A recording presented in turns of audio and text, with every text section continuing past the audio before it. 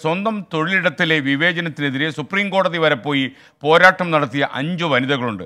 അതിൽ നമുക്ക് അഭിമാനമായ ഒരു മലയാളിയുണ്ട്. നാവികസേന കമാൻഡറായ പ്രസന്ന ഇടയിലും അവകാശങ്ങൾക്കായി ഇവർ നയിച്ച പോരാട്ടത്തിന്റെ കഥയിലേക്ക് ഇനി നമ്മൾ കടക്കുന്നു.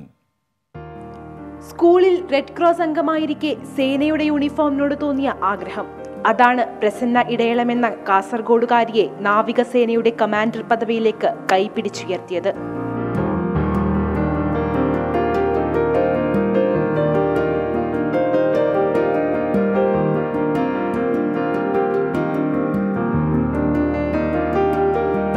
താൻ കണ്ട സ്വപ്നം യാഥാർത്ഥ്യമാക്കിയ ശേഷം കമാൻഡർ പ്രസന്ന വിശ്രമിച്ചില്ല.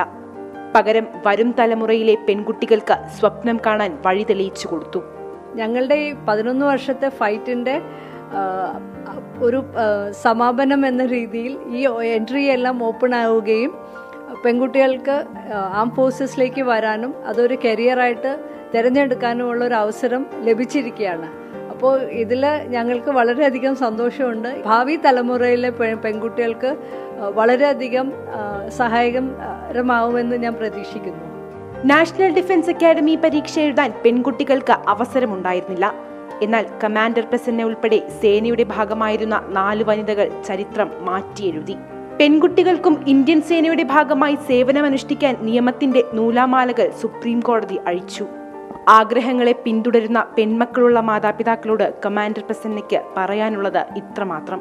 നമ്മൾ അത്യാവശ്യം സ്വാതന്ത്ര്യം കൊടുക്കുക അതിന്റെ വരും വരായികൾ പെൺകുട്ടികളെ പറഞ്ഞ് മനസ്സിലാക്കുക എങ്ങനെ നമ്മൾ ഓരോ കാര്യങ്ങൾ ചെയ്യണം എങ്ങനെ നമ്മളത് തീരുമാനം എടുക്കണം എന്നുള്ള കാര്യങ്ങളൊക്കെ നമ്മൾ പറഞ്ഞു കൊടുക്കുകയാണെങ്കിൽ ഒരു ആൺകുട്ടിയെ വളർത്തുന്ന രീതിയിൽ തന്നെ പെൺകുട്ടിയെയും വളർത്തി കൊണ്ടുവന്നു കഴിഞ്ഞാൽ പെൺകുട്ടിക്ക് ആ ഒരു സൊസൈറ്റിയെ നേരിടാനുള്ള ഒരു ഫിയർ ഒക്കെ ചെറുപ്രായത്തിൽ തന്നെ മാറാൻ പറ്റും. പതിനൊന്ന് വർഷത്തെ പോരാട്ടം ഫലം കണ്ട സന്തോഷത്തിലാണ് പ്രസന്ന.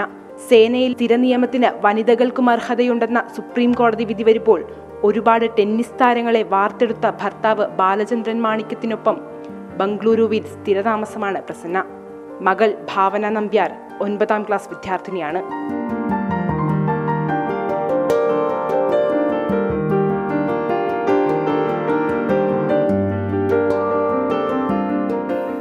സ്വപ്നം കാണാൻ അതിരുകളില്ലെന്ന് തന്റെ ജീവിതത്തിലൂടെ തെളിയിക്കുകയാണ് റിട്ടയർഡ് നേവി ഓഫീസറായ പ്രസന്ന ഇടയിലും. മാതൃകാപരമായ ജീവിതം എന്ന വാക്കുകൊണ്ട് തന്നെ നമുക്കിവരെ വിശേഷിപ്പിക്കാം. മോഹൻകുമാറിനോടൊപ്പം ലക്ഷ്മി സുരേഷ് ട്വന്റി ഡൽഹി.